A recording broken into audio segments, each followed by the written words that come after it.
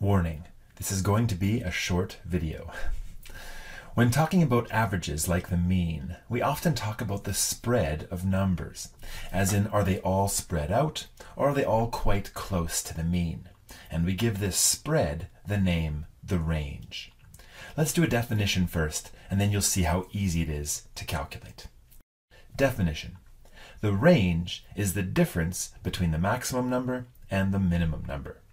For example, what is the range of the following ages? Well, the maximum age there is 14, and the minimum age is 1, so the range is the difference between 14 and 1, which is 13. yep, that's it. Let's try another example. Example 2.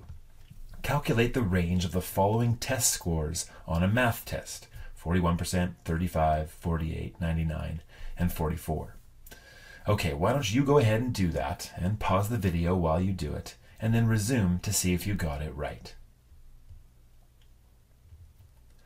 So the range is the max minus the min, which means 99 minus 35, which equals 64.